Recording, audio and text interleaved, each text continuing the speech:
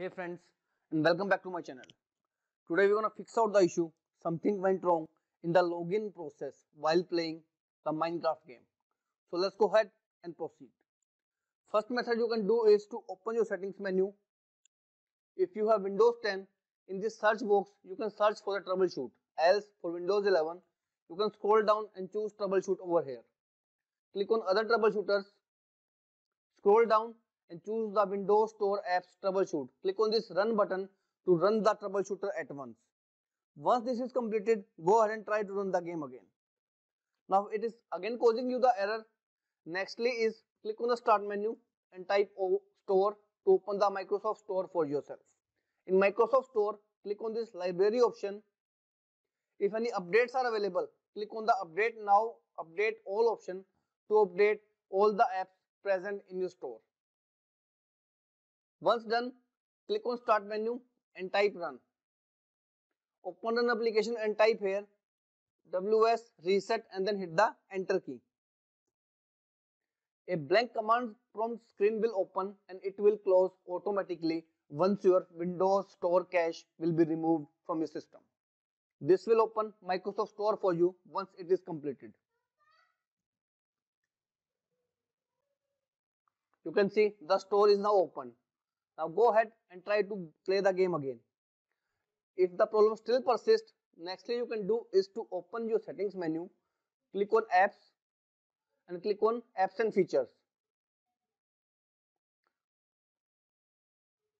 From here in the search box, type Minecraft. Click on this three dot icon and choose the option advanced options. Scroll down and first of all click on this repair button. Once repaired, click on this reset option to reset Minecraft completely. After this process, don't forget to restart your PC and try to check if it is working or not. Now, if the error is still there, the only option we are left with is to use the old Minecraft launcher, which is by opening this official website, you need to scroll down and choose this option which is download for Windows 7 or Windows 8 which means you are going to download old launcher for your Minecraft and then double click to install this old launcher in your system. Alternatively, you can use multi-MC launcher which is equivalent to your Minecraft launcher by opening this official website. Scroll down, here is a screenshot of the new launcher of the multi-MC. Scroll down and here is the official download link from for your windows. Click on it save it in your system. Once this multi mc launcher is downloaded double click to open it extract the file from the zip folder.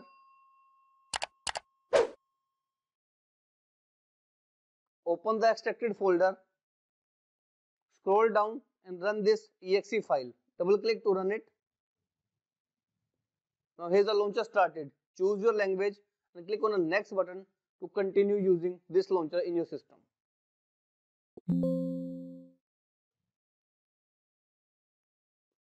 Now here is the multi-MC launcher started for you.